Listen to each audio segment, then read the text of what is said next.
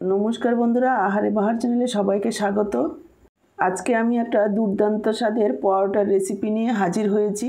এটা বানানো একেবারে সহজ আর খেতে অসাধারণ লাগে। সব সময় একঘেয়ে রুটি পরোটা না খেয়ে মাঝে মাঝে এভাবে বানিয়ে দেখতে পারেন। আশা করি আপনাদের ভালো লাগবে। আর এটা বানানো একেবারে সহজ। তাহলে চলুন দেরি না করে রেসিপিটা দেখে নেওয়া যাক। আর এই পরোটার সাথে থাকবে ছোলার ডাল। আপনারা চাইলে এই পরোটাটা শুধুও খেতে পারেন, কিন্তু আমি ছোলার ডাল রেখেছি।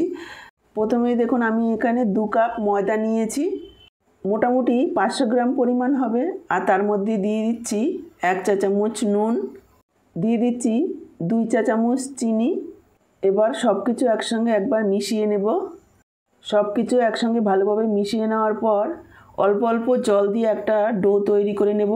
নর্মাল যেভাবে পরোটার ডো তৈরি করে, ঠিক একইভাবে তৈরি করে নেব। দেখুন একটা সফট ডো তৈরি করে নিয়েছি। এবার এক চা চামচ পরিমাণ সাদা তেল দিয়ে আমি একটু আলতোভাবে মেখে নিচ্ছি।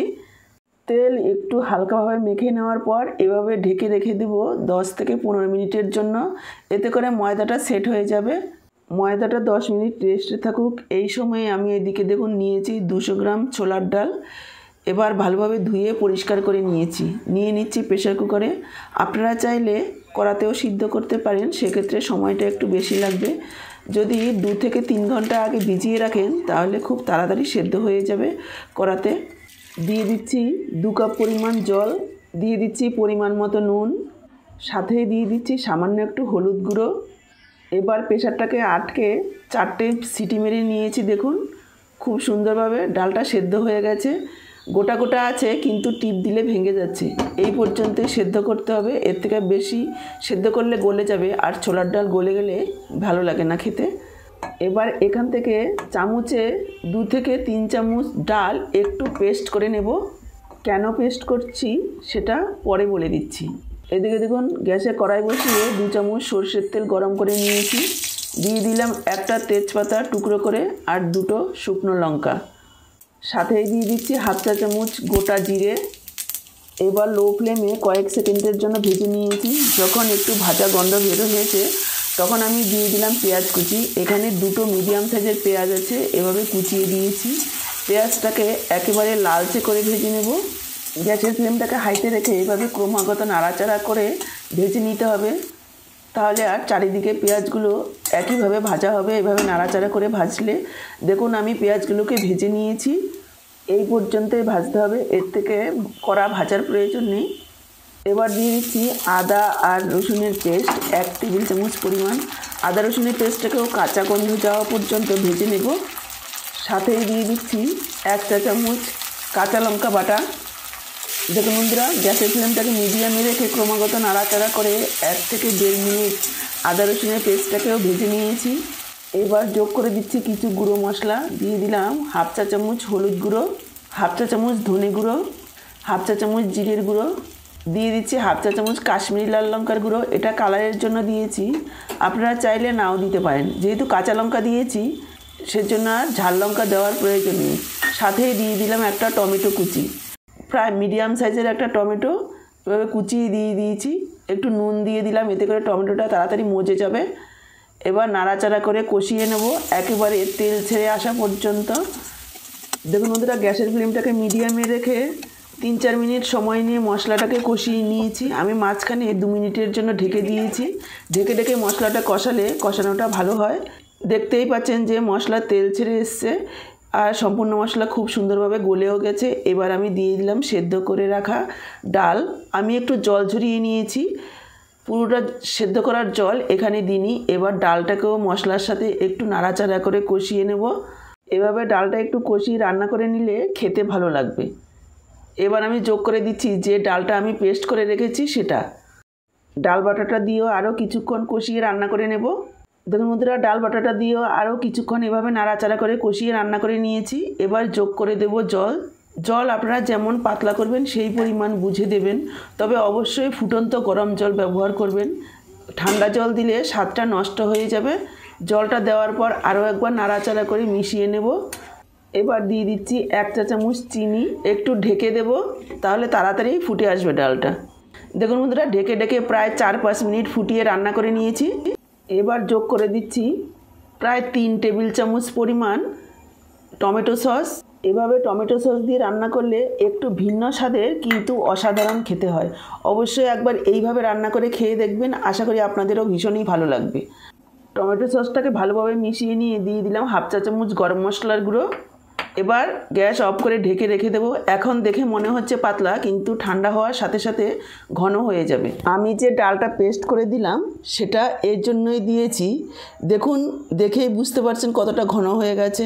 অনেক সময় ছোলার ডাল রান্না করার পর একেবারে ছাড়া ছাড়া পাতলা হয়। যতই কম জল দেওয়া হোক না কেন, ডাল ঘন হয় না। তখন যদি আপনারা সেদ্ধ ডাল এভাবে দুমুটো একটু পেস্ট করে দিয়ে দেন, তাহলে ডালটা খুব সুন্দরভাবে ঘন হবে। দেখুন বন্ধুরা, পাঁচ মিনিট ঢেকে রাখার পর আমি অন্য একটা পাত্রে ঢেলে নিয়েছি। দেখেই বুঝতে পারছেন কতটা ঘন হয়ে গেছে। ছোলার ডাল তো আপনারা অনেক রকমভাবে খেয়েছেন। একবার এইভাবে রান্না করে খেয়ে দেখবেন ভীষণ ভালো লাগবে। আর এদিকে আমার ময়দাটাও সেট হয়ে গেছে। দেখুন, অনেকটাই ফুলে উঠেছে। আরও একবার এইভাবে একটু মেখে নেব। আমি একটু কিচেন স্ল্যাবের উপরে নিয়ে নিচ্ছি। কেননা ভালো করে একটু ডলে নিতে হবে। যত ভালো ডলা হবে, পরোটাটা তত ভালো তৈরি হবে। আর খুব সুন্দর নরম হবে। প্রায় দুই তিন মিনিট সময় নিয়ে আমি এইভাবে ডলে নিয়েছি। স্লাবের উপরে আমি একটু তেল মেখে নিয়েছি। এবার একেবারে সমান দুভাগে ভাগ করে নেব। এবার এক সাইডেরটা নিয়ে একবারে এই বড় করে বেলতে হবে। সেজন্যই আমি কিচেন স্ল্যাবের উপরে নিয়ে নিয়েছি, কেননা এটা বেলতে হবে অনেকটাই বড় করে। যত পাতলা করে বেলতে পারবেন, ততই নরম আর সফট হবে আর লেয়ারটাও খুবই ভালো হবে। এবার আমি এখানে দু চামচ ঘি আর দু চামচ সাদা তেল একসঙ্গে মিশিয়ে নিয়েছি। এবার পুরোটার উপরে এভাবেই মেখে দেব। দেখুন, পুরোটা রুটির উপরে এভাবে ঘি আর তেল মেখে দিয়েছি। এবার এক সাইডটা এভাবে উল্টে দেব। উল্টে দিয়ে উল্টো পিঠটাও ঠিক এইভাবে ঘি আর তেল মেখে নিতে হবে। এদিকটা যখন ঘি মাখানো হয়ে যাবে, উল্টো দিকটাও ঠিক এভাবে ভাজ করে নেব দেখুন। এই দিকেও এভাবে ঘি আর তেল মেখে নেব। আপনারা চাইলে শুধু তেল দিয়েও করতে পারেন, তাতেও ভালো হবে খেতে। কিন্তু ঘি দিলে খুব খাস্তা আর মুচমুচে হবে। এবার নিচের দিকটা এভাবে ভেঙে ভাজ করে নিয়েছি, তারপর তেল মেখে দিয়েছি। চারিদিক থেকে ভেঙে এভাবে ভাজ করে নিয়েছি আর তেল মেখে দিয়েছি। এবার এভাবে ভাজ করে নেব। এবার এটাকে আমি সমান চার ভাগে ভাগ করে নেব। সমান চার ভাগে ভাগ করে নেওয়ার পর এভাবে এক একটা করে গোলা নেব আর নিচের দিকে এভাবে ঘুরিয়ে ঘুরিয়ে পাকিয়ে নেব। দেখুন, আমি সবগুলো এভাবে গোল করে বানিয়ে নিয়েছি। এবার এখান থেকে একটা নিয়ে নেব আর এভাবে হাত দিয়ে চেপে চেপে একটু বড় করে নেব। যতটা একটা রুটির সাইজের হয়, দেখুন, এরকম বড় করে নিতে হবে। তাহলে লেয়ারগুলো খুব সুন্দরভাবে আলাদা হবে। আর বেলুন দিয়ে বেলে ফেললে লেয়ারগুলো চেপে যায়, খাওয়ার সময় লেয়ারগুলো খোলে না। এবার আমি দেখুন, চাটু গরম করে দিয়ে দিয়েছি। তারপর উপরের পিঠে যে ঘি আর তেল মিশিয়ে রেখেছিলাম, সেখান থেকে এইভাবে ব্রাশ করে দেব। এক পিঠে ভালোভাবে ব্রাশ করা হয়ে গেলে উল্টো দিকে উল্টে দিয়েও আরও একবার ব্রাশ করে দেব এইভাবে। তাহলে অল্প তেলেই ভাজা হয়ে যাবে। উল্টো দিকেও যখন তেল ব্রাশ করা হয়ে যাবে, তারপর দেখুন আমি কাপের মধ্যে দুটো ডিমের কুসুম একটু ফেটিয়ে নিয়েছি। এবার উপরে এভাবে একটু ব্রাশ করে দেব। আপনারা যারা নিরামিষ খান, তারা ডিমটা বাদ দিয়ে দেবেন। এবার তার উপরে দিয়ে দিচ্ছি কিছুটা সাদা তিল। কয়েক সেকেন্ডের জন্য একটু ভেজে নিয়ে উল্টে দেব। উল্টে পাল্টে এভাবে কড়া করে ভেজে নিতে হবে। দেখুন দেখুন আমি এভাবে সবগুলো ভেজে নিয়েছি। তৈরি হয়ে গেছে আমাদের কাশ্মীরি লাচ্ছা পরোটা। এটা ভীষণই ভালো হয় খেতে, অবশ্যই একবার এইভাবে খেয়ে দেখবেন। আশা করি আপনাদেরও ভীষণই ভালো লাগবে। আর বাড়িতে বানালে একেবারে কমেন্ট বক্সে জানাতে ভুলবেন না যে আপনাদের কেমন লাগল। দেখুন কতটা সফট আর নরম তুলতুলে হয়েছে, আর লেয়ারগুলোও খুব আলাদা হয়ে যাচ্ছে।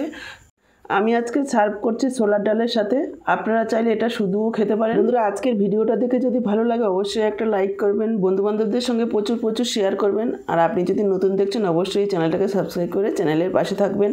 তাহলে আজকে এই পর্যন্ত আবার দেখা হবে এরকমই দারুণ টেস্টি কোনো রেসিপির সাথে। সবাই ভালো থাকবেন, সুস্থ থাকবেন। পরের ভিডিও দেখার আমন্ত্রণ জানিয়ে এখানেই শেষ করছি।